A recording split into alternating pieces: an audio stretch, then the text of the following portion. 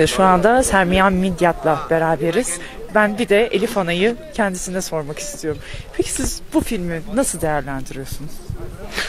Ya Elif Ana'nın kıymeti yani, sinema çünkü genelde bir kurgu üzerine yapılır ve hani son zamanlarda da korku örnekleri, macera örnekleri, dram örnekleri, komedi örnekleri çok var ama Elif Ana'nın senaryosundan mütevellit bir e, ciddi bir orijinalliği var ve e, iyiliğin filmi ve iyiliği öneren bir film. E, böyle filmler çok karşımıza çıkmıyor. Dünyada da çok çıkmıyor.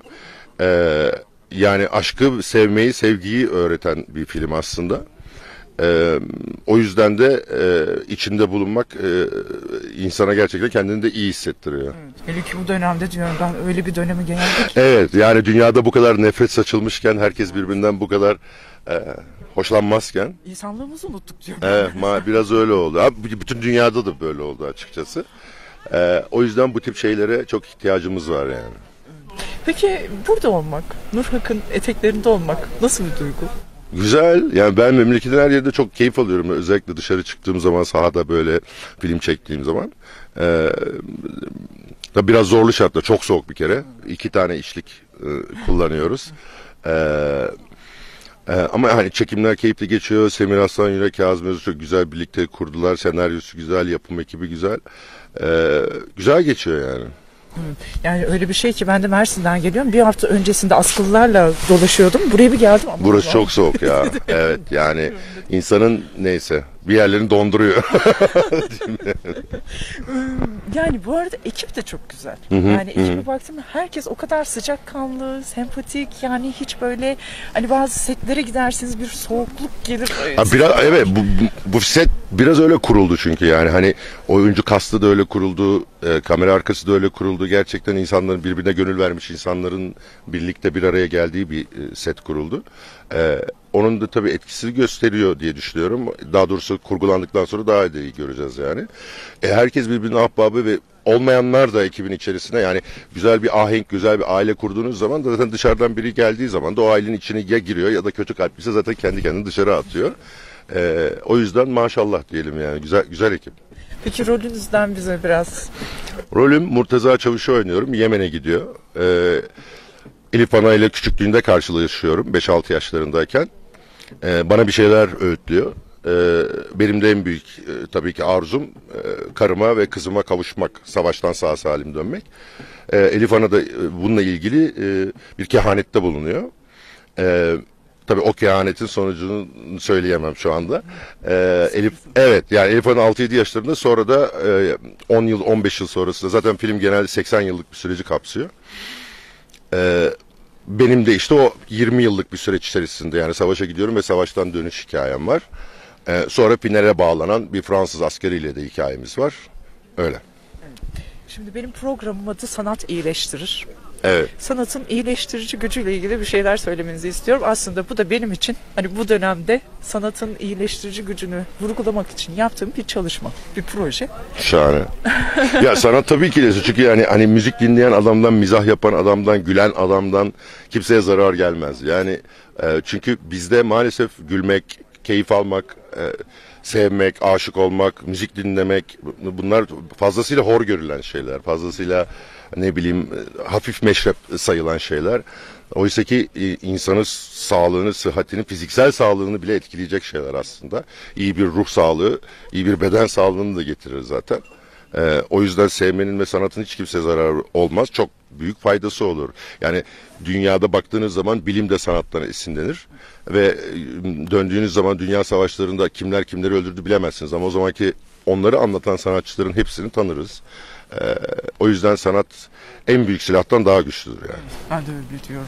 Sanat en büyük eğitimdir diyorum ben. Evet kesinlikle en büyük eğitimidir ve en bir ülkenin kalkınması en büyük motivasyon kaynağıdır yani.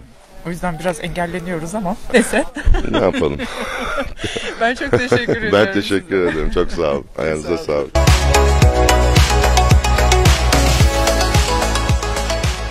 Elif Fana filminin Belçika'dan gelen oyuncusu Vildan Maksuti ile beraberiz. Evet ben bu aslında böyle özel bir projeye nasıl dahil oldunuz onu merak ediyorum. How is uh, you starting in this big project uh, to play in Elephant movie? Uh, it started. Uh, first of all, thank you uh, for having me here present. Uh, it's uh, really um, I appreciate it a lot because it's my first movie in Turkey. You must tell me step by step. Step by I step. will translate you. Yeah. Okay. Okay. Step by step. Step by step. Okay. Çok teşekkür ederim böyle bir projede yer aldığım için. right. And uh, the movie started when uh, Abi Kazim uh, called me. Uh, he said, "We are looking for a French commandant who is going to parler français, qui, who is going to speak French." Uh, and there were 25 actors from Istanbul and uh, who wanted this part, uh, but I was chosen. Uh, Kazim uh, um, uh, gave me the role. He trusted me this role that I can do it good. Ee, Kazım benim yıllardır biz arkadaşız kendisiyle. Öyle bir diyalog geçti işte ne yapıyorsun falan biliyor bu projenin haberdar kendisi.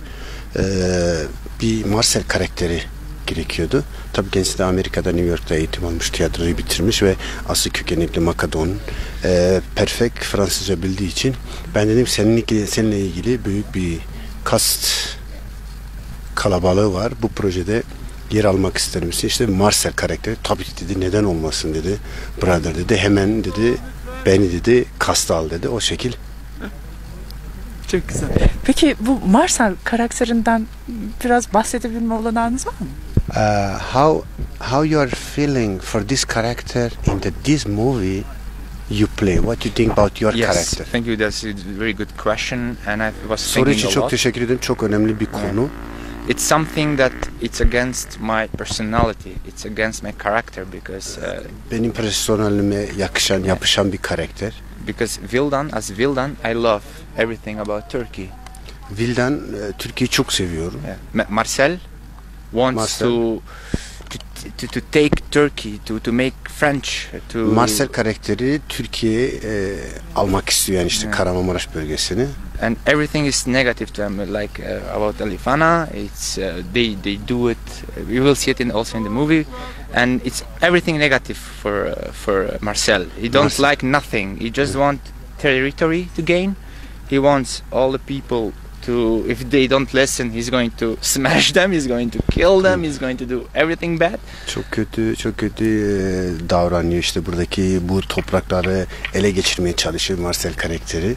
And that's against me because I love so it's going to be really hard and difficult to be in the uh, in the role of Marcel but I know Çok e, titiz bir karakter. Bu karakteri bu projede Marcel oynamak.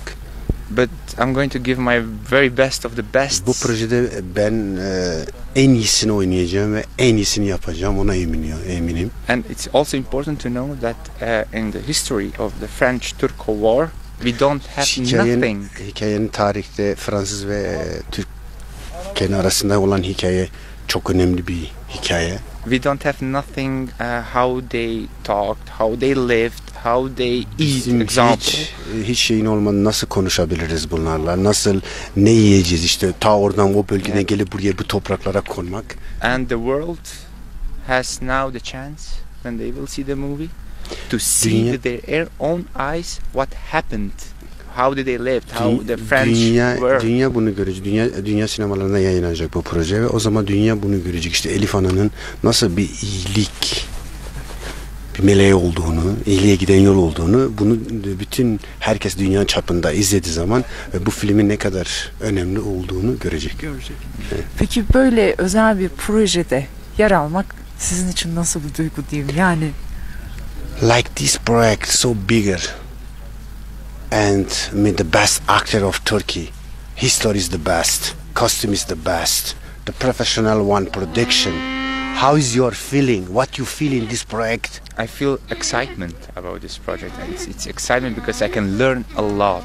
I've, I've, I've çok çok güzel bir duygu. Yani anlatamam ama bu projede böyle değerli hocaların yani oyuncuların bulunmasını tabii ki onlarda da çok şey öğrenme şansı fırsatı buldum. and I, I've done uh, I've done projects around the globe around the world but this like this Bunun gibi bir projenin dünya çapında. with, with this with this actors with this capacity and I I said also in the press conference to make a movie about Alifana we need to have the great actors the great thing and this is Aynı happening. şeyde basın toplantısında olduğu gibi büyük bir kalabalık kadrosuyla büyük bir medyanın bu kadar üstüne düşmesi so I'm excited, but I'm with my feet on the ground and I'm focused to to give my best of the very best. Sadece düşüncemi kafamda olan ve yüreğimde olan sadece bu karakteri üzeri çalışıyor, çalıştım, çalışıyorum ama en iyisini yapmaya için de buradayım.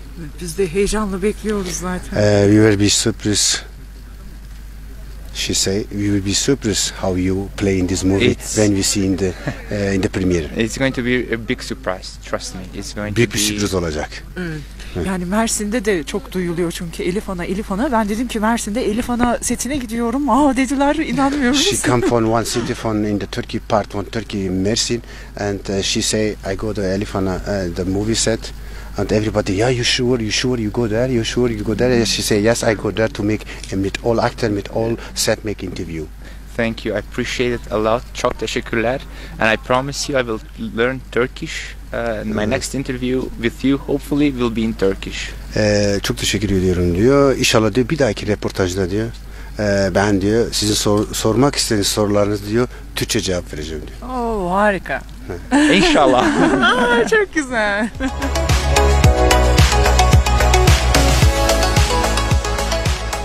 Evet şimdi Elif Ana e, filminin yapımcısıyla beraberiz. Ökkeş Sevimli ile beraber. Tabii biz bu yapım aşamasında neler oluyor, neler bitiyor merak ediyoruz. Tabii filmin son halini de çok merak ediyoruz ama bayağı bir sürpriz bırakıyorlar. Çok fazla da söylemiyorlar açıkçası. Peki böyle bir film çünkü çok özel bir film ve çok özel bir hikayesi var aslında Elif Ana'nın. Ee, bu projeye başlamak nasıl oldu? Yani nasıl gelişti bu proje? Biz kendimiz bölge insanıyız. 30 yıldır İsviçre'de yaşıyoruz yurt dışında. Çocuklarımız orada doğdu. Biz nasıl kendimizi Avrupa'ya taşıyabiliriz? Zaten Elif Ana kendisi bir efsanedir. Herkes yani bölge tarafında herkese sevilen, sayılan, etrafına güzellikler, iyilikler saçan bir bilge kadındı. Biz de Avrupa'ya, dünyaya iyiliği, iyi olmak için çocuklarımıza bunu aşılamak için böyle bir projeye giriştik. Ortağımız, ortağımla beraber ortaklarımız diyelim. Kazım Çarman, Bilmeç kardeşler Ali, Hasan, Bilal. Dedik biz kendimize anlatalım. En azından orada ço- doğan çocuklarımız yılda bir haftada gelsin kendi memleketimizde zamanlarını, tatillerini geçirsin. Onun için böyle bir projeye adım attık hep beraber. Evet, çok güzel. Ya ben her zaman e, söylüyorum. Hele ki son zamanlarda o şiddet olayları filan o kadar insanlıktan çıktık ki artık. Böyle hikayelere ve özellikle gerçek hikayelere ihtiyacımız var. İnsanlara örnek olması için iyilik bulaşıcıdır diyerekten. O yüzden çok güzel bir çalışma, çok güzel bir proje. Peki şöyle dedim. Bu Nur Hak'ın eteklerini çok güzel çünkü bir yer ama aynı zamanda hikayesi olan da bir yer. Burada çekimleri gerçekleştirmek nasıl bir duygu? Çok güzel bir duygu. Onun ötesinde bu Nurak Dağları, bu coğrafya hepimizi doyurdu. Bizim atalarımız, büyüklerimiz, babalarımız, ben bile buranın ekmeğini yedim. Ee, yaylaya geliniyordu. Babam e, canlı hava hayvan tü- tüccarıydı. Buralara gönderip otlatıyorlar. Bir saat bizi besliyordu. Onun için her yönlü e, bu coğrafyanın bize emeği var. Biz de bu coğrafyayı, Elif anamızı, insanımızı nasıl misafirperver olduğunu, Anadolu insanı. Anadolu insanı iyilik iyidir diye Ali abinin bir sloganı var. Ali oyuncumuz Ali soy ismini unuttum. Ali abinin bir iyilik iyidir. Biz de diyor iyilik yapalım, birbirimizle iyi olalım. Ali Sürmeli bu arada soy ismini Evet, unutmuştum. söyleyeyim. İyi olalım, iyilik yapalım, iyiliği etrafımıza dağıtalım. Evet. Amacımız bu. İyilik bulaşıcıdır diyoruz o zaman. Evet. Ee, peki şimdi en son oyuncularla ilgili sizden sorsam mesela oyuncular neye göre e, seçildi desem? Oyuncular tabii ki neye göre kişiliğine göre, karakterine göre, oynadıkları oyunlara göre tabii ki bunları da seçerken hocalarımızın yardımıyla e, Kazım Öz hocamızın, Selmiyan e, Semir Aslan Yürek hocamızın. Bu arada ilk e, görüştüğümüz e, oyuncumuz da Semir e, Selmiyan Midyat'tı. Onlar da bizim için bizim gibi iyiliği seven, iyiliğe bulaşmak isteyen, iyiliğin de onlara bulaşmak isteyen emekçilerimiz, oyuncularımız. Hepimiz bir arada düşünerek yani diyelim e, Sermiya'nın e, Hükümet Kadın 2'deki rolü şu bu bize sıcak geldi. Bizi bu insanlar anlatabilir düşüncesiyle böyle bir karar aldık. tamamen doğal olması. Ben onu Aynen. fark ettim. Şimdi bazı setler, ben de tiyatrocuyum bu arada. Bazı setlere girdiğiniz zaman böyle bir sizi iter, soğuk gelir. Ama ben buraya bir geldim, oyuncular falan aman Allah'ım dedim ne kadar hani tatlı insanlar içlerinde yani birbirleriyle bir olmuşlar, birbirleriyle yardımlaşma, o sıcaklık hani size de yansıyor. Ben direkt hani yabancılık hissetmedim. Sanki buraya ait gibi hissettim. Bu eminim seyirciye de geçecektir diyorum. Aynen de öyle. Bizim oyuncular arasında sette çalışan arkadaşlarım hep beraber yani inanılmaz bir uyum var. Herkes bunu bir e, ticaret ya da para kazanan şeyle zihniyetiyle yapmıyor. Gerçekten isteyerek diyor ki hayatımızdaki bir fırsatı yakaladık. Her şeyimizi, emeğimizi, her şeyimizi verelim düşüncesiyle yürüyorlar. Emek veriyorlar. Çok güzel. Ben çok teşekkür ediyorum. Biz sana teşekkür ederiz. Tam Mersin'de geldiniz. Hepinize ayrı ayrı ortaklarım adına, oyuncularımız adına, bölgemiz adına hepinize çok teşekkür ediyoruz. Ee, sabırsızlıkla bekliyoruz. İnşallah. Gelecek yıl 10. ayın 30'unda umarım korona erken biter, vizyondayız. Bitmese de vizyondayız. Evet, Bitmese de olsun. Artık Aynen. güzel bir filmi izlemeye ihtiyacımız var. Özledik. İnşallah, inşallah. Çok teşekkür ediyorum. Biz teşekkür ederiz. Sağ olun.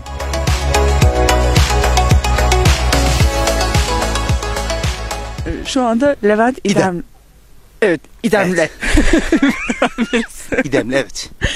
Ee, bu proje size nasıl ulaştı? Ya bu proje aslında e, ilk Orhan Aydın tarafından, Orhan abi tarafından e, ulaştı. E, ilk senaryoyu anlattığı zaman o kadar heyecanlandım ki çünkü çok farklı, çok farklı bir coğrafyada çok farklı bir hikaye barındıran e, bir senaryoydu. Çok doğal. Çok yani her şey doğal yapısı olarak oyuncular olarak o bir kere çok iyi oyuncular var. Çok iyi ustalar var. Ee, set ekibi çok iyi. Doğa çok iyi. Her yerde birçok yerde çekiliyor. Ee, biz iyiyiz diye düşünüyorum inşallah. Hatta buradan sonra da Adana taraflarını bekliyoruz. Evet o taraflara ben İstanbul taraflarına doğru yol alacağım çünkü. Ee, burada olmaktan çok mutluyum. Yani kendi adıma ben çok mutluyum. Orada tam görünüyorum değil mi şey? Evet. Peki rolünüzden bize bahsedebilir misiniz? Ee, rolüm Karayılan. Aslında buraların e, efsanevi bir eşkıyası. Ee, ama aynı zamanda e, şöyle söyleyeyim. e, Fransızlara karşı ilk direnen grubun içerisinde ve onun lideri. Ee, o yüzden çok özel ve çok e, bu topraklar için, bu grup için yani bu coğrafyada yaşayan insanlar için çok e, değerli bir şahıs ve bunu oynamak da benim için çok güzel oldu. Çok sevindim açıkçası. Birkaç kere böyle rol gitti geldi. Acaba o mu olacak bu mu olacak ama kara yılanı duyduğum zaman dedim ki bu olur. Bu gayet olur. Güzel bir yılan olduğumu düşünüyorum kendim. Yakışır bence. Teşekkür ederim. E, bugün setimizi ilk setimizi işte yaptık, çektik. Güzel de oldu. Bakalım inşallah seyirciyle buluşması da çok güzel olacak. Daha devam edecek bir ilkbaharda da bir e, setimiz var. Şey e, orada da bir Karayalan'ın bir sahnesi var. Bakalım ya biz çok umutluyuz. Çok güzel kadro, çok güzel insanlar, çok güzel bir senaryo. Güzel olacak. Ya ben her zaman şey diyorum. Çalışma içerisinde eğer o çalışmanın içindeki samimiyet varsa o seyirciye zaten mutlaka yansıyor. Ama bu şey değil mi? Normalde ikili ilişkilerde de aynı değil mi? Evet. Mesela size yeni tanıştık. Ya, evet. Birazdan dans ettik yani biraz önce. Birazdan dans. konuştuk falan. Tabii canım daha ne? Aa, O yüzden yani o, o o samimiyet sizin e, setteki samimiyetiniz, e, oyuncuların samimiyeti seyirciye de geçiyor. Evet, seyirciye de- O yüzden e, o öyle seyirciye de geçen samimiyet ne yapıyor? Güzel iş yapıyor. Bir de e, tarihi açısından da önemli aslında. Evet. Yani son zamanlarda bakıyoruz gençlerimize geçmişimizi ne kadar biliyoruz diyorum. E, geçmişimizi aslında Anadolu'yu öğretebilmek açısından da ben biraz da tarihi bir e, film olduğunu düşünüyorum. Biz daha ülkemizi aslında biz derken maalesef son jenerasyon birkaç jenerasyon aslında çok e, coğrafyamızdan tutun da e, ülkemizin güzelliklerinden yani genel anlamda coğrafyadan tutun da bazı şeylerden çok uzağız. Evet. Bunu da çok açabilirim ama çok fazla derine inmek istemiyorum. O yüzden kendi ülkemizi tanımazsak diğer ülkeleri tanımak bir anlam ifade etmiyor. Önce kendi coğrafyamızı, kendi coğrafyamızın güzelliklerini, kendi kültürümüzü, bütün kültürleri ama İç Anadolu'sundan Doğu Anadolu'suna kadar, Türk'ünden Kürdüne kadar Evet. biz bir mozaiyiz ve bütün mozaiği birleştirerek iş yaparsak çok güzel işler çıkıyor. Çünkü biz Anadolu'yuz, Mezopotamya'yız Evet. ve e, biz güzel insanlarız. Çok özel bir tarihimiz var Çok aslında. özel. Yani biz güzel insanlarız. Çok güzel işler çıkıyor bu topraklarda. Ee, umarım daha da güzelleri bu filmle beraber de çıkacaktır. Benim çok hoşuma gitti. Çünkü niye? Genelde ben şeye bak- bakıyorum. Bizim tarihimizi yabancılar, yurt dışı daha çok sahipleniyor çoğu şeyde. E çünkü farkındalar ne kadar zengin bir e, coğrafya olduğumuzu, ne kadar eski köklerimizin olduğunu biliyorlar. Şunun hep Amerika örneğinden veririm. Çok eskisi yani çok tarihi olmayan bir ülkedir. E, farklı e, toplumların birleştirdiği bir mozaik gibidir ama tarihi yoktur. Ama senin tarihini öyle alıp öyle kullanır ki sen öyle bakarsın. Evet. O yüzden bizim her şeyimizi kullanmamız gerekiyor. Tarihimizi, coğrafyamızı, kültürlerimizi, her şeyimizi. Biz çok büyük bir mozaiğiz, büyük bir gökkuşağıyız. Ayrıştırmadan özellikle. E ama tabii biliyorsun. ama bizim maalesef o huyumuz var. Biz e, kurtulamadık ondan. Ayrıştırmadan bir türlü vazgeçemedik. Halbuki sadece insan olarak mevzuya baksak aslında birçok şeyi halledeceğiz ki bu coğrafyanın insanı da bu ülkenin insanları da insandır aslında özünde. Anadolu insandır. Mezopotamya insanıdır. Bunlardan kötülük gelmez ama çok ayrıştık. Çok ayrışıyoruz. Bu hiç hoş değil. Umarım tez zamanda aklımızı başına alırız diye düşünüyorum ben. Elif Ana'nın hikayesi çok kadim bir hikaye. Ee, bunu beyaz perdeye taşımak da e, bize gerçekten gurur verdi. Yani tüm oyuncu e, ustalarımız, arkadaşlarımız adına. E, bütün Türkiye'nin de bu hikayeyi e, görmesi gerekiyordu. Ülke için güzel bir yapıt oldu bence. E, biz de heyecanla aslında bekliyoruz. Nasıl bir iş çıkacağını, güzel bir iş çıkacağından eminiz. E, beyaz perdede tüm halkımızın da bunu görmesini çok istiyoruz. Ve e, hak ettiği değeri ve seyirciyi de alacağına inanıyoruz şahsen. Ben Güzel de, olacak. E, Ülkemizin sahip çıkacağını düşünüyorum Muhakkak. yani. E, bu ayrıca biliyorsunuz yurt dışında da Evet. e, festivallere de gidecek. E, yurt dışında da gösterimler olacak. Ki e, biz çok eminiz. Çünkü yönetmenimizden tutun da oyuncularına kadar bütün bütün ekip çok iyi. İyi olacak ya. Heyecanla biz de bekliyoruz yani oynayan insanlar olarak. ne güzel biz de bekliyoruz. Peki o zaman en son şey diyeceğim. E, e, ne zaman çıkacak? Onu da buradan seyircilerimize Ya şimdi şöyle açıkçası onu ben de tam bilmiyorum. Çünkü daha ilkbaharın çekilecek e, sahnelerimiz var. O yüzden onu e, yönetmenimiz ve en iyi yönetmenimiz bilir diye düşünüyorum. Evet evet yani çünkü onun adına konuşma saçma olur. Bana kalsa keşke hemen yapsak da bilsem olmuyor. Şu ilkbaharın çekecek sahneler de var. Mesela benim bir sahnem var. E, bir atlı bir sahnem var ilkbaharın çekilecek. İlkbaharda hangi sahnelerin çekeceğini çok bilmiyorum ama ilkbaharda da bazı sahneler var. O yüzden büyük ihtimal e, 2022'nin sonlarına doğru çıkabilir diye düşünüyorum. Biz de bekliyoruz sizin gibi efendim.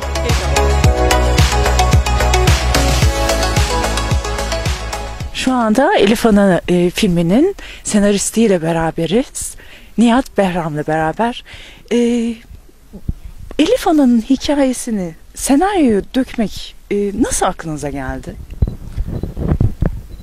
Elif Ana'nın hayatını senaryoya dökmeyi aklıma getiren şey kötülük. Niye kötülük? Çünkü kötülüğün egemen olduğu bir dünyada yaşıyoruz. Güzel artıyor. Sabahtan akşama kadar bin bir kötülük kuyusunun içinde çırpınıp duruyoruz. Bu kötülüğe karşı ne yapabilirim diye düşündüm. İnsanoğlunun en yüce erdemlerinden birisi iyiliktir. Elif Ana da sanki e, iyiliğin e, kuluçkası, iyiliğin kuyusu gibi bir hayatı olan bir insan. Dedim ki kötülüğe karşı Elif Ana silahıyla mücadele edeyim. Aslında sanat en büyük silah. Evet, Elif Ana çünkü işte diyor, diyor ki e, servetini e, cüzdanında değil vicdanında biriktir diyor Elif Ana. İnsanlara böyle öğütte bulunuyor. Her Ya- şeyini paylaşan. Evet, yaşadığımız dünyada ise insanlar se- servetini cüzdanda biriktirmek için e, bütün dünyayı doğasıyla, bebeğiyle, çocuğuyla yok etme sürecinde. Elif Ana bakıyorsun hayatına her şeyini paylaşıyor. Çobanlık yaptığı dönemde insanlardan e, ücret olarak para almıyor. İşte un, bulgur, e, buğday, süt, yoğurt, peynir gibi şeyler alıyor. Onlardan o gün kendi karnını doyuracağı kadarını ayırıp gerisini yoksullara dağıtıyor. Bölüşümcü. Dolayısıyla bu her şeye, bütün dünyanın nimetlerine el koyma anlayışına karşı Elif Ana'nın bu bölüşme duygusunu e, e, öne çıkarayım dedim. Elif Ana e, sanki e, Hacı Bektaşi Veli bu dünyadan giderken ruhunu Elif Ana'ya emanet etmiş de gitmiş gibi. Diyor ki Hacı Bektaşi Veli dini, dili, ırkı, rengi ne olursa olsun iyiler iyidir. Elif Ana bu, bu herkesi ırkına, diline, dinine göre ayırıp katliamlara ve savaşlara sürüklediği bir dünyada e, Elif Ana'nın e, Hacı Bektaş Veli'nin bu ruhuyla hareket ediyor ve herkese arkadaşlık, dostluk, sevgi aşılamak istiyor. Bütün bunlar birikince Elif Ana e, e, e, örtüştü e, duygumla. Hayatına girdikçe onunla ilgili anıları okudukça daha da derinleşti.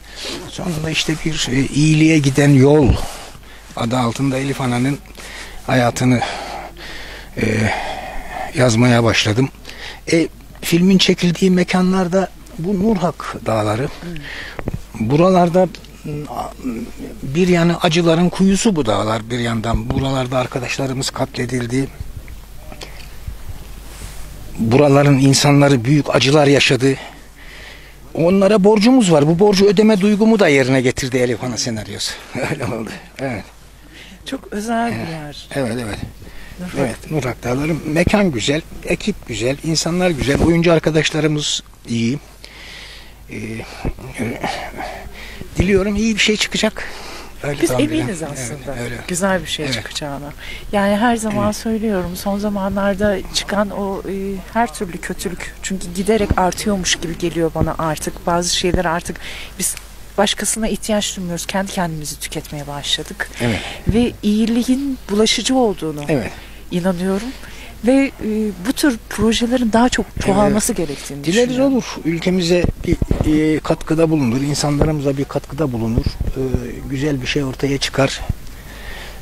Sanat olarak ışık gözüme vurduğu için gözümü yaşartıyor. şimdi. Bu gözlüğe de e, alışamıyorum. Yeni iki hem uzak hem yakın gözlüğü. Çünkü iki gün evvel yanlışlıkla gözlüğümün üstüne oturdum kırıldı. Gelirken aceleyle bu gözlüğü aldım. Ondan gözümdeki yaşarma. Peki şey diye sorsam, ekibi sorsam size. Ekip çok değerli arkadaşlar. Orhan Aydın genel sanat yönetmenimiz e, çok eski 40 yıllık arkadaşım. E, hayatı sanatla e, zaten hep sloganı yaşasın sanat yaşasın hayat sloganıyla hareket eden bir arkadaşımız. Kazım Öz genç, yok yetenekli, çok kibar, çok naif, iyi bir e, insan, iyi bir sanatçı ve geleceği olan bir sanatçı. Çok inanıyorum bu projede e, kamera arkasında durdu. E, filme gönül veren, katkı sağlayan prodüktör arkadaşlarımız öyle bu e, bölgenin insanları büyük bir fedakarlıkla atılıyorlar. Oyuncu arkadaşlarımız öyle.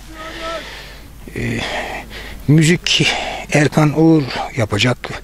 Çok sevdiğim bir müzisyen, çok değerli bir insan. Çok iyi bir film müziği buna denk düşüreceğini tahmin ediyorum. Çünkü filmin e, Elif Ana'nın arkasında e, e, bu Anadolu kültürünün, müziğinin derin e, şeyleri var, yankıları var. E, zaten o da çevresindeki herkese evden e, saz sesi sakın eksik olmasın. E, insanlar ölür gider, e, e, acılar anlatılır kulaklarda şey- ama biz acılarımızı, sevinçlerimizi hep saza anlatmışız. Saz her zaman onları saklar. Bin yılda geçse e, anılarımız sazda saklı kalır. Sazın sesi onun için evden hiç eksik olmasın diyen bir kadın. Dolayısıyla film bu filmin müziği de çok önemli. Onun da Erkan Uğur'un yapacağı yapması e, önemli bir olay olacak.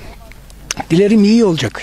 İşin başındayız daha. Biz güzel bir şey bekliyoruz. Ben Evet. ekibi gördüm. Evet. Dedim ki gayet Evet. çok güzel bir Evet, şey evet. geliyor. Ben de öyle tahmin ediyorum. Ben de bu, bugün e, e, sete geldim. E, e, e, dün gece daha doğrusu geç bir saatte sete geldim. İlk günüm sette. Arkadaşlara bakıyorum ben de heyecanlandım. Sabırsızlıkla Evet, bekliyoruz evet, öyleyse. evet. Çok- Bu arada benim programın adı da Sanat İyileştirir hocam. Ama ne güzel. O zaman ben sizi sanat iyileştirir desem, başlık bıraksam, siz benim için bir şeyler söyleseniz. Sanat yani çok iyi bir tespit. Sanat iyileştirir. Çünkü e, umutsuz insana umutsuz insanın ilacı umutsa umudun e, en büyük silahı sanatın içinde saklı. E, acılı bir insanın, dertli bir insanın e, korkan bir insanın cesarete ihtiyacı varsa bu cesareti, bu silahı sanatta bulabilir. Dolayısıyla bütün dertlere, bütün insani dertlere, insanların başına açılmış olan dertlere sanat bir çare. Tarih boyu böyle olmuş. İlk insandan beri böyle olmuş. E, dolayısıyla e, çok güzel hem isim güzel hem anlamı güzel. Teşekkür Ben ediyorum teşekkür bence. ederim. Ben teşekkür ederim. Çok sağ olun.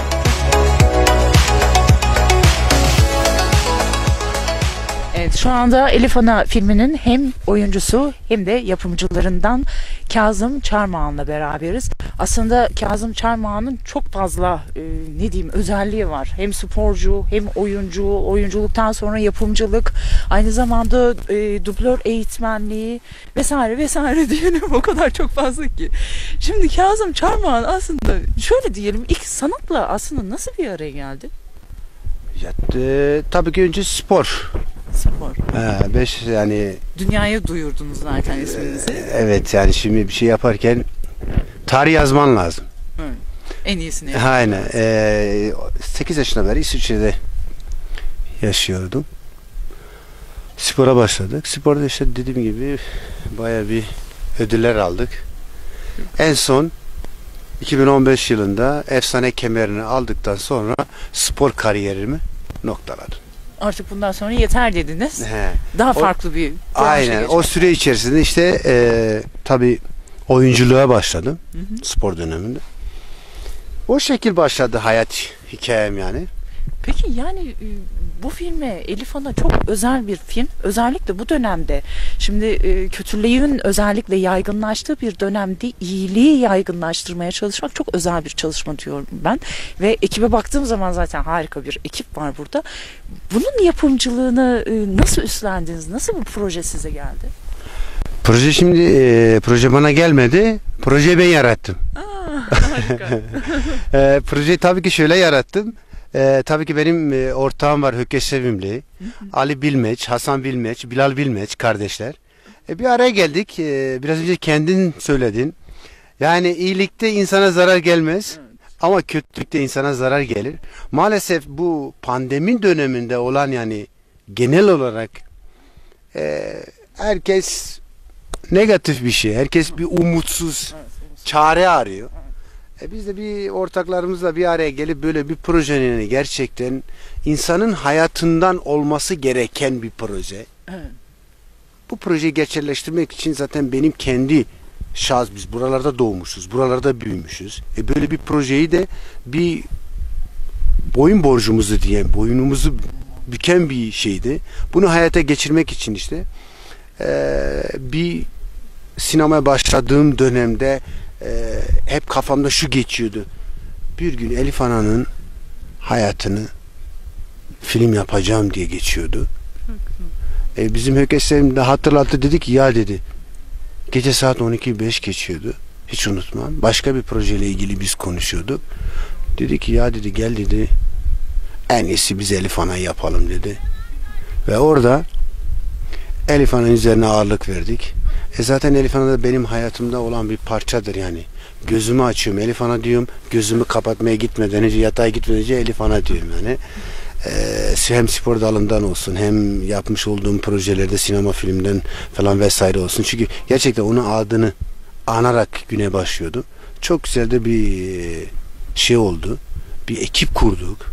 Tabii çok ki böyle bir projeyi bu kadar değerli hocaları, değerli oyuncuları, Değerli Jüri- yönetmenleri. değerli yönetmenleri, senaristi ve artı her şeyden önce tabii ki yani emekçi ışığından tut çaycısına yani herkesin bu yüreğe, yüreğiyle bu proje böyle kucaklaşması, sahip çıkması inanın ki çok da- çok zor şartlarda çekim yapıyoruz.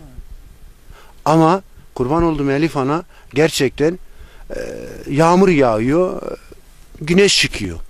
Güneş istiyoruz, yağmur yağıyor değil. Hani gerçekten e, Elif Ana'nın e, kerametleri var. Buna herkes inansın. Ama her şeyden önce e, insanın kalbi yüreği temiz olsun. O zaman iyilik bulaşıcıdır diyelim mi? İyilik bulaşıcıdan ziyade diyorum ki iyilik insanın bu film projesi bittikten sonra bu filmi izledikten sonra herkes bu projede kendine bir pay çıkaracak. Diyecek ki ya iyilik artık içimize sinmiş değil kemiğimize işlemiş. İlaç gibi olacak insanlara. O kadar çok ihtiyacımız var ki şu dönemde. Zaten dediğim gibi hani iyiliğe giden yol bizim iyilikten başka Çıkar yolumuz yok. çıkar yolumuz yok. Başka bir şey de düşünmüyoruz yani. Onun için böyle bir projeyi hayata geçirmek için gecemizi gündüzümüzü verdik. Görüyorsun bak gelmişsin. E ben de sporcu olduğum için doğayla iç içeyim. Daha nerede? Oradayım ben. İsviçre'de mesela alt dağlarına çıktık. Eksi 30, e, 25 derece buzlu suyun içine giriyorum. E bu gördüğünüz lokal yerlerin hepsini vesaire bunlar 5 yıllık bir çalışma. Mekanları ara bul ve yönetmeniymiş, sanatıymış işte burayı buldum. Ee, mesela bizim Fırat diyor ki, Kazım diyor ki ya diyor ya sen diyor sadece diyor yapımcı değil, sadece sporcu değil, sadece oyuncu değilsin diyor. Sen aynı zamanda sanatçısın, e, şey, sanat şefisin diyor. Bütün eki mekanları ay- ayarlamışsın, elimize koyuyorsun. Diyorsun ki hadi burada çekik. Yani gerçekten bu bir aşktır, bir sevdadır Elif Han'a olan bağlılığım. Yani Elif Han'a borçluyum ben. Aşık olursan, inanırsan başarırsın. Bunu diyorum ben. O zaman ben de diyorum ki artık hatta ülkemize değil dünyamıza iyilik lazım. İyilikle iyileşeceğiz. Zaten şunu söyleyeyim. e, Elif Ana'nın e, şunu söyleyeyim. Elif Ana gerçekten üstüne düşeni fazlasıyla yaptı. İnan ki fazlasıyla yaptı. Ben de şimdi ekran başında bizi bu e, programda izleyecek, dinleyecek bütün e, güzel ülkemde ve dünyanın neresinde olsun ben kameraya bakarak söyleyeyim ki Elif Ana üstüne düşenin fazlasıyla yaptı. Hadi gelin hep beraber kurban olduğum Elif anamızı dünyaya tanıtalım. Bunu diyorum ya. Şimdi sıra bizde diyoruz o zaman. Durmak yok. Şimdi sıra bizde. Evet, harika. Teşekkür Ben ediyorum. geldiğiniz için çok sağ ol. Ben teşekkür ediyorum. Görüşürüz. Harika bir ekip var. Harika bir mekan. Harika bir yer. Eminim ki çok güzel bir film çıkacak ortaya. Zaten ona eminim yani. Yüzde yüz eminim çünkü dediğim gibi Elif Ana'ya aşığım. Çok güzel. Ben de aşık olduğum için bu projede herkes bu filmi izledikten sonra ben de inanıyorum ki ben ne kadar Elif Ana'yı tapıyorsam, inanıyorsam o insanlar da bu Elif Ana'yı duyacak. Bilmeyenler duyacak, görmeyenler görecek. Onlar da Elif Ana'ya aşık olacaklar. Elif Ana'nın türbesine ziyarete gelecekler. Çok teşekkür ederim.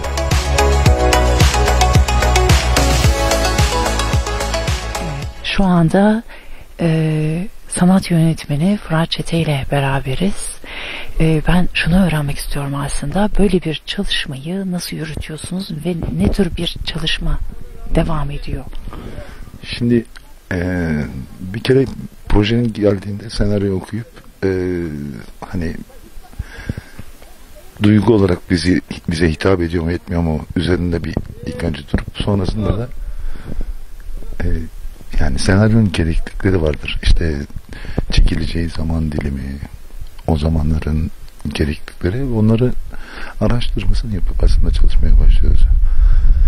Bulunan mekanları inceleyip onların uygun olup olmadığını sıfırdan kurulacak mekanların e, yapısal anlamda nasıl bir yapıya kavuşturulacağını falan belirleyip tabii bunu e, yönetmen ve görüntü yönetmenimizle beraber e, yapıp sonra çalışmaya başladık. Elif Ana filmi için de ilk senaryo okuduğumda bir kere e, bu ülkede anlatılmayanların hikayesi yani o bağlamda beni zaten cezbeden kısmı oydu. İkincisi de Elif Ana'nın sloganı Ali, Ali Sürmen'in deyimiyle iyi, iyi olmak iyidir. E, şiarıyla yani işin içerisine girdik. Şu an sanırım ikinci haftayı bitirdik e, çekimlerde. Güzel gidiyor her şey. Yani e, 1915'ler 1920'ler 30'lar e, hatta 1990'lara kadar neredeyse giden bir süreç var. Tabii bunun içerisinde bir takım e, mekansal değişiklikler e, zamansal değişiklikler olacak. Oluyor da zaten. Farklı farklı bölgelerde çekeceğiz. 7-8 farklı lokasyonda bu e, çalışma yürütülüyor. Bakalım şu an her şey güzel. E, umarım izleyici de memnun olur çalışmamızdan. Şu anda mümkün olduğunca kısık sesle konuşmaya çalışıyoruz çünkü yan tarafta çekimler devam ediyor. Ben şeyi öğrenmek istiyorum. Aslında bir e, diyelim ki bir sanat yönetmeni olarak tarihi iyi bilmek gerekiyor değil mi? Gençlere buradan hani sanat yönetmeni olmak isteyenlere iletelim diyorum. Ee, yani sanat yönetimi şu anlamıyla yani belki biraz ukalayıcı olacak ama setin en entelektüel olmak zorunda. Yani tarih bilmek zorunda, sosyoloji bilmek zorunda, psikoloji bilmek zorunda. Çünkü yaratacağınız karakterin mekanının e, o karakteri e, canlandırabilmesi gerekiyor. Asıl olan o. E, eğer psikolojiyi, sosyolojiyi iyi bilmiyorsanız e, karakter yaratmakta zorluklar yaşayabilirsiniz. E, artı e, yani her film için minimum bin sayfaya yakın okuma yapmanız gerekiyor. Yani e, bildiğiniz şeyleri tekrar okumanız gerekiyor. Çünkü e, yani binlerin, on binlerin, yüz binlerin karşısına çıkacak bir iş yapıyorsunuz. O işin de doğru ve e, adabında yapılması gerekiyor. Bunun için de okumak gerekiyor. Evet. Peki Elif Ana için mesela nasıl bir çalışma yaptınız?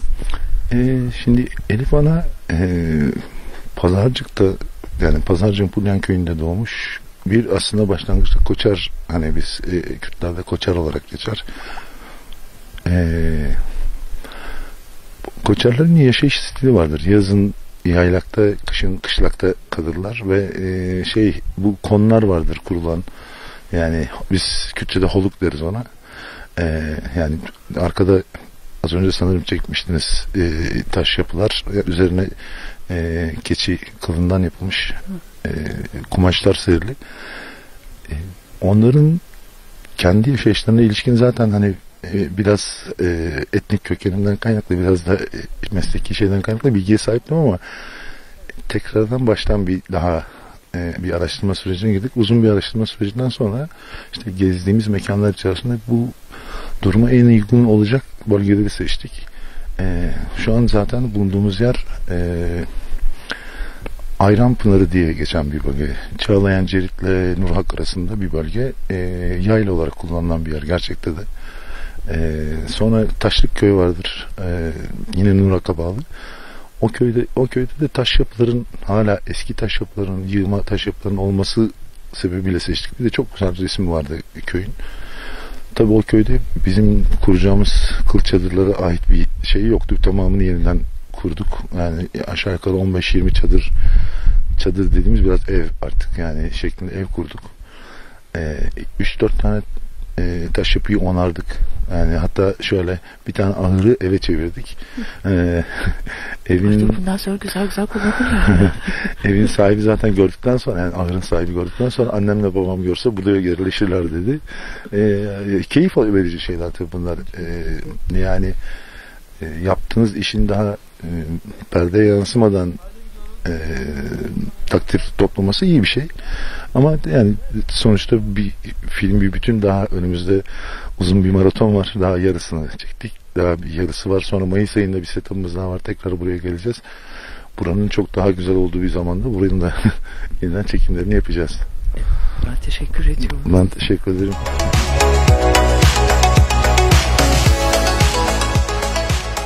Şu anda Ali Sürmeli hocamızla beraberiz. Ee, hocam Elif Ana e, filmi hakkında aslında düşüncelerinizi ben sizden öğrenmek istiyorum. Ta ezelden başlamam lazım. Çok uzun sürer.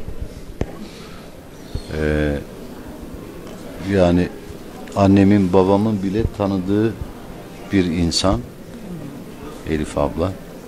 Artık oturup da bir sohbet etmişler mi?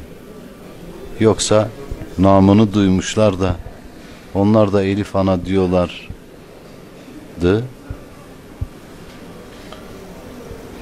Ee, bizim Kazım var. Kurtlar Vadisi'nde oynuyordu. Sürekli dazlaktı. Falan ama böyle vücut Şahin vücudu ya da Akbaba ama gözlerine bakınca anam bu bizim güvercinlerden. He. Ben öyle bakınca o da abi bir Elif Ana hayalimiz var. Varım dedim. Efendim dedi. Varım dedim. Hayalim varsa. İşte biraz para bulduktan sonra kısmetse çeki, çekeceğiz. Tamam dedim o anaysa sana parayı buldurur kardeşi. Parayla olmuyor ki film. Neyle oluyor abi dedi. Böyle heveslileri bulacaksın. Onlara söyleyeceksin. Çünkü bugün televizyondaydı galiba. Bir tane ipek işleyen bir babayla röportaj vardı kahvaltı sırasında. Onu dinledim. Bana maaşlı adam değil, hevesli adam lazım. Demişti. Ee, öyle o anaya hizmet etmek bizim boynumuzun borcu diye düşünüyordum. Çünkü bu kadar insanın kalbini kazanmak hele bir kadın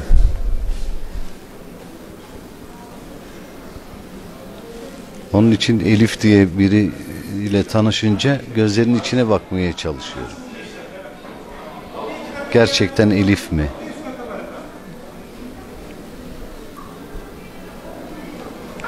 Öyle oldu. Sizin için o zaman özel bir yeri var Elif Hanım'ın. Evet. Sağ olsun Kazım da eee, böyle Hızır'a benzeyen birini bulmuş o bütün hikayenin içinde. O da abi Hızır'ı çekeceğiz Elif Ana'da. Benim Hızır'ım olur musun dedi. Dedim Kazım sen ilk filminden beri ben senin oyuncunum. Hele Elif Ana nasıl oynayacağız yani? Teksti aldıktan sonra kara kara düşünmeye başladım. Abi bu adam bir deli mi yoksa bir veli mi? En son böyle o ikisinin arasında bir çizgide. Benim gibi deli onu veli gibi yapmaya çalışacağım kendimi. Öyle oldu. Hocam yani şimdi sizin oyunculuğunuzu hep çok takdir ediyoruz biz. Şimdi ben de bir oyuncuyum aslında. Öyle mi? Evet Mersin'den geliyorum. Memnun Ee, oldum. Teşekkür ediyorum. Ee, ya aslında gençlere neler yani ne öneriyorsunuz? Önermiyorum. yani bu ülkede iseniz işte ekonominiz nasılsa tiyatronuz da biraz öyle bir şeydir diye düşünüyorum. Ama bu sınırları geçip doğuya da gitseniz batıya da gitseniz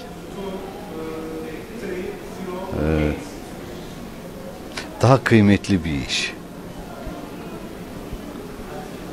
Özellikle böyle Almanya gibi yerlerde adam işte Almanya'ya gireceğim yeşil pasaportum var polis baktı şöyle bir bir iki sayfa çevirdi sonra gözünü dikti bana arkada da kuyruk var İçimden geçen abi neyimden şüphelendin neyse onu bir an önce söyle daha polissin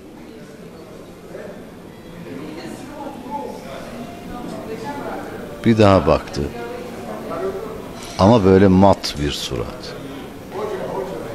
Ich bin Schauspieler dedi.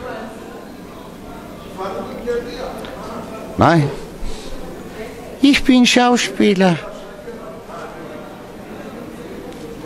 Schauspieler. Ein und äh, sagten, suchten äh, Schauspieler. Danke.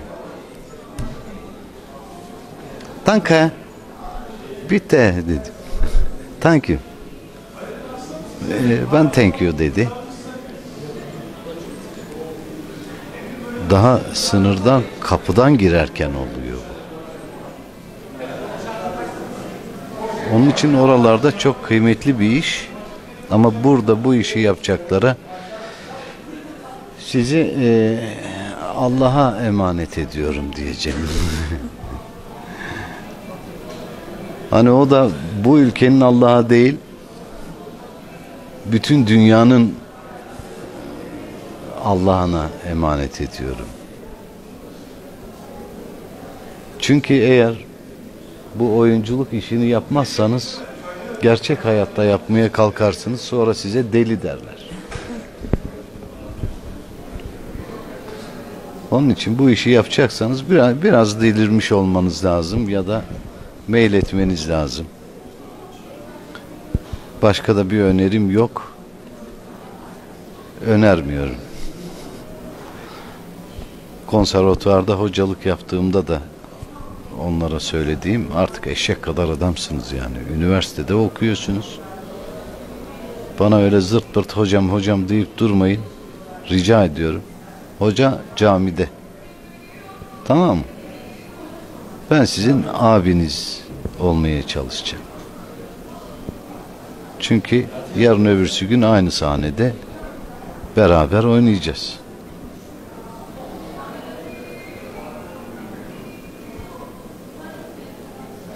Herkes kendine not verecek. Çünkü üniversite kuralları var. Bir kere gelmeyen hani baştan yüz veriyorum zaten size. Bir kere gelmeyen 90, iki kere gelmeyen 80, üç kere gelmeyen 70, dört kere gelmeyen zaten kendini 60 verecek. Dolayısıyla kalacak ya da atılacak. Onun için hani ananız babanız geldiğinde, sevgiliniz geldiğinde, nişanlınız, sözlünüz geldiğinde, manitanız geldiğinde sabah geleceksiniz derse tamam ben size geliş ve tekrar akşam gelmek için gene taksi paranızı vereceğim. O arada müdür, amir falan gelirse "E, tuvalete gitti derim. Ama akşam ders bitmeden mutlaka geleceksiniz. Öyle abi kardeş muhabbet ediyorduk. Onlardan çok şey öğrendim. Kendi zorluğumu yendim. Yani oyunculuk tarif edilemez bir şeyken onlar tarif bekliyor.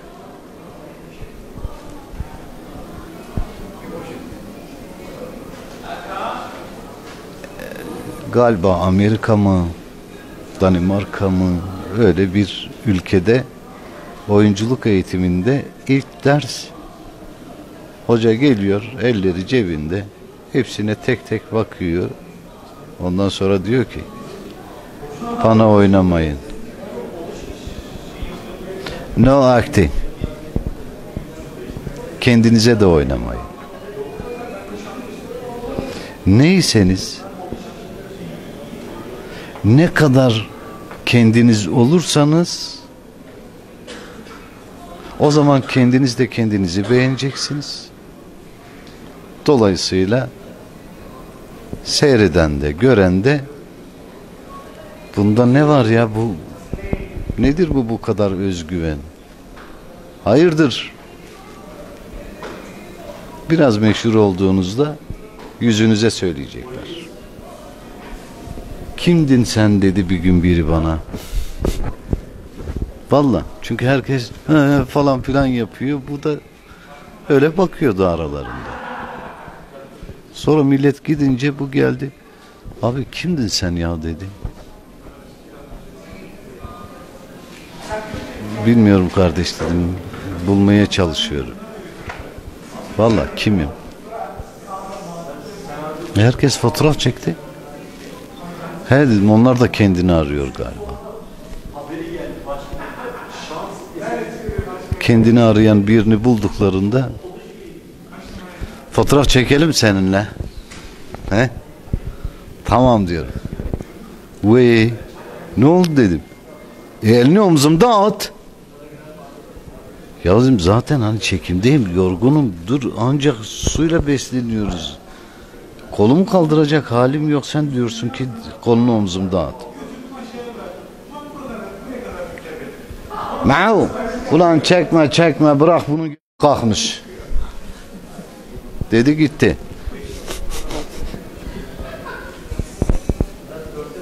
Başka soru var mı? Oyunculukla ilgili bütün bilgim bu kadar. Hocam peki burayı sorsam ben size. Ne? Burada olmak. Burada Buraya daha olmak- önceden geldiniz değil mi? Hayır. Gelmedin. İlk kez geldim. Ee, burada güzel insanlar olduğunu biliyordum. Nedense. Bundan yıllar önce biri yolumu kesti. Abi dedi biz kendi hayat hikayemizi film yapmak istiyoruz da. Orada bir tane kaptan lazım bize de. Nasıl yeni baştan mı yapacağız yani? Yok abi dedi film film. E tamam. Sen de bize kaptan olur musun? Öyle durup dururken ben niye kaptan oluyorum sana kardeş dedim. İşte biz Maraşlıyız mı de işte dedi. Elbistanlı mıyız dedi. Gideceğim arkadaşlardan para toplayacağım çünkü bu sizin camia para e, ne kadar verirsen o kadar hevesli oluyorlar. Mış. Öyleymiş. Efendime söyleyeyim. Neyse filmin adı Umut Adası'dı. Onu da bu ya Elbistan ya Maraşlı gençler buradan bir şekilde kendini İstanbul'a atarlar. Oradan bir gemi bulurlar. Bizi İngiltere'nin açıklarında botla motla falan atarsan çok seviniriz diyorlar. O da tamam diyor. Ama bak artık anayasa falan yok. Tamam mı? Denizin anayasası farklı. Burada kral da benim, kraliçe de benim. Anladınız mı? O repliği hala hatırlıyorum bak. Beyin ameliyatı geçirdim. Çok ağırmış. Benim bir yığın yapacağım iş var, hayallerim var. Yani şu anda gelemem. Dedim Azrail'e. Biliyoruz dedi. E biliyorsan neyi sorguluyorsun dedim ya. Ama o arada adamın biri dürtüp duruyor falan. Neyse bir gözümü açtım baktım. Doktor belli. Alnında yazmasa da bakışlarından belli. Başka bir alemden bakıyor yani.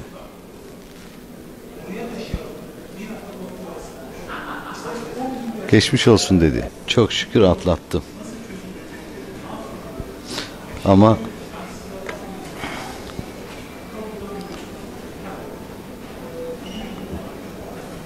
sonra artık aklım başıma geldiğinde doktor da 650 bin liralık faturayı önüme koyunca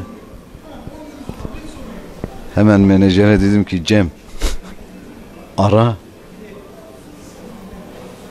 hepsini de ki gittim gördüm çok iyi çalışabilir. Yoksa bu 650 bin lirayı nasıl ödeyeceğiz kardeşim? Nasıl oluyor dedim ya kardeş. Nasıl oluyor? Ben babam da bu devlete vergisini ödedi. O da memur olduğu için tabii daha vermeden önce devlet a- alıyor. Seni sigortalı yaptım diye. E ben de bugüne kadar hiç bütün aylıklarımı aldım. O biriktirdiğim de yetmiyor şimdi. Ya çok şükür abi dedi. Yırttın, hayattasın. Dedim kardeş al şu faturayı bir bak bakalım. 650 bin. He? Şimdi çalışmazsam bunu kim ödeyecek? E, Elif anayı çalışıyoruz. Çok şükür artık çekimde olduğumuz için artık çok çalışmıyorum ben. Ee, onun yerine de boş zamanları diyorlar. Hadi git dediklerinde odaya kapanıyorum. Kendi odamı hücre yapmışım. Ee, orada bir romandan dijital bir film yapmaya çalışıyoruz. Çünkü artık hayatı biraz da öyle görüyorum yani. Hakikaten dijital falan mı acaba ya? Bu ne ya? Bu, bu kadar gerçek çok can sıkıcı. Hep aynı şey, hep aynı şey, hep aynı şey. Bizim eee, sanat yönetmeni Fırat size röportaj vermiş. Giderken de söyledi. Ya hanımefendi dedi ben ekibime teşekkür etmeyi unuttum dedi. Baktım hakikaten vicdan azabı çekiyor dedim. Kardeş merak etme ben seni yerine söylerim. Sıra röportaj sırası bana gelmiş nasıl olsa. O selam da üstümüzde kalmasın. Efendim teşekkür ederim.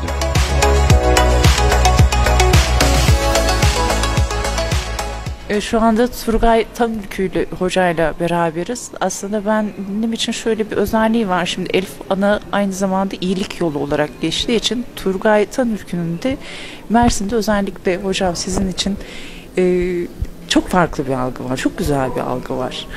E, çünkü aslında bu iyiliğin içinde sizin hayatınız da bir iyilik. Ben öyle görüyorum.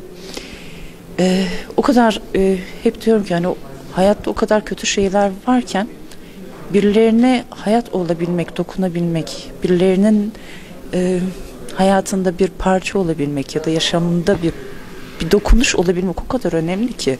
Bunu çok fazla açmayacağım. Siz biliyorsunuz, seyircilerimiz de biliyor. Bunu çok fazla açmak istemediğinizi de biliyorum ben. E, ama diyorum ki iyilikler konuşuldukça iyilikler bulaşıcıdır. Ne kadar güzel ki Elif Ana gibi de zaten bir iyilik yolu, e, bir proje diyorum ben aslında. Bir iyilik projesinde bulunuyorsunuz. Elif Ana ile ilgili ben aslında düşüncelerinizi öğreneceğim. Ben sadece öncelikle kendi sizin hakkında düşüncelerimi söylemek istedim size. Teşekkür ederim. Yani Elif Ana tabii gündeme geldiği günden beri incelediğimiz bir konuydu. Daha önceleri bilgim vardı ama bu kadar derinlemesine yoktu. Arkadaşlarımın sayesinde daha derinini öğrenmiş olduk. Ve bir topluma merhaba filmi bence bu. Unutulmuşlukları hatırlatmak, insanlara örnek olması adına e, bir proje. Onun için de çok mutluyum. Arkadaşlarımla beraber ve bu ortamları paylaştığımız için. E, dilerim insanlar biraz oturup ya ben ne yapıyorum diyebilmeli. Zaten bütün iyiliklerin e, ifadesi bu bence. E, biz eşimle tesadüfen bir yola çıktık diyebilirim. E, tabii geçmişimizdeki acılarımızı paylaşırken böyle bir yola gittik. Onun için benim için kutsal bir olay o. Onun için gizemini koruyabilmek adına e, hep mücadele ettim ama e, kızlar büyüyünce etrafımızda dedikodular başladı işte gencecik bir kızla koca adam dolaşıyor diye. Kızım da dedi açıklayacağım ben bunu dedi. Herkes bilsin dedi. Öyle yol, yola çıktı yoksa 81 yılından beri biz bunu saklıyorduk.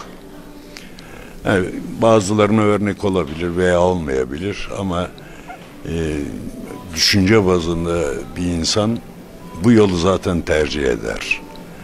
Paylaşmak yani bu inançlarımızda da var paylaşmak. O zaman onu sadece yerine getirsek biz başarırız diye düşünüyorum. Elif Ana bir çıkış noktası. Yani oynayan arkadaşlar veya sette emek veren arkadaşlar da bazen bir es veriyorlar. O işte o esin içinde paylaşmanın ve iyiliğin bir hastalık haline gelmesi yolu açılıyor. O bakımdan çok mutluyum. Gerçekten mutluyum. Yani sanatçı olmak adına demiyorum. Yani kim sanatçıdır, kim değildir tartışılır her zaman. Ee, biz sanatçı olmaya hala adayız. E, Çünkü sanatçılığın bir desturu vardır. O desturu ne kadar yapabiliyoruz o önemli. Ama setimizde gerçekten o var. Herkes birbirini saygıyla dinliyor.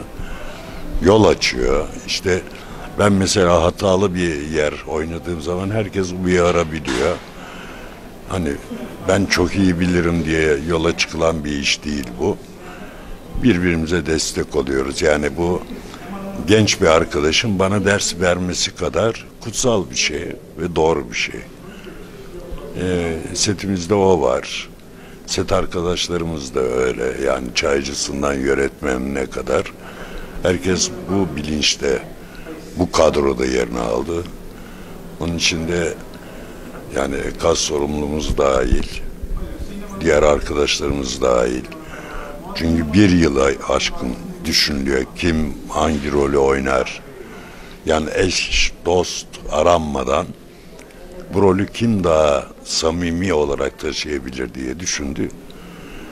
Ve uygulama yapıldı. Onun için de mutluyuz. Yani okul gibi bir şey bize bu. Yani bizler hani iyiliği bilen adamlar olarak düşünmüyorum zaten. Yani bu bir şans. Ee, bizim kapımızı çaldı eşimle beraber ve bu yola gidiyoruz. Ee, bu da belki de son filmim yani yaş olarak. Ama böyle bir birliktelikte olduğum için çok mutluyum. Yani bir yol hikayesi ve de iyilik yolu adı da. Ee, dilerim bu iyilik yolunu okuyan, hisseden bir sürü arkadaşlar çıkar ortaya. Peki hocam e, oynadığınız rolle ilgili biraz bilgi alabilir miyiz acaba? Günahkar İsmail isminde hep böyle tersler vardır ya insanlara. Lakapları hep terstir böyle. Ee, öyle bir günahkar. Yani bana geldiğinde araştırdım tabii ki. Hele buraya geldikten sonra esas mekana gidince onu tanıyanlarla karşılaştık. Bir 82 yaşındaki bir annemize onunla konuştuk. Tercüman kanalıyla tabii. Ee, ve beni anlattı. İlk setten sonra hemen dinlediğim için de çok mutluyum. Ee, yanlışa gidebilirdik.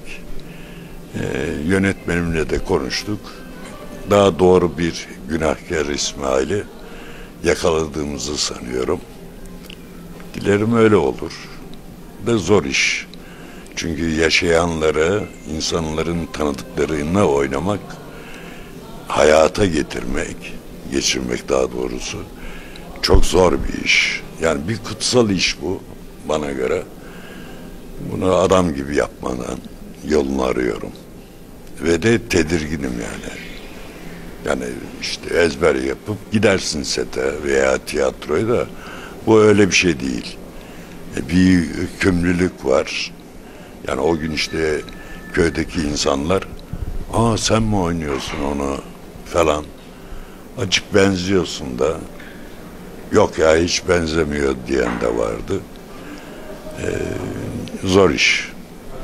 Yani hani ezberledim geldim oynadım hadi gidiyorum. Değil bu. Biraz gönüllü esası var rollerde herkese ait.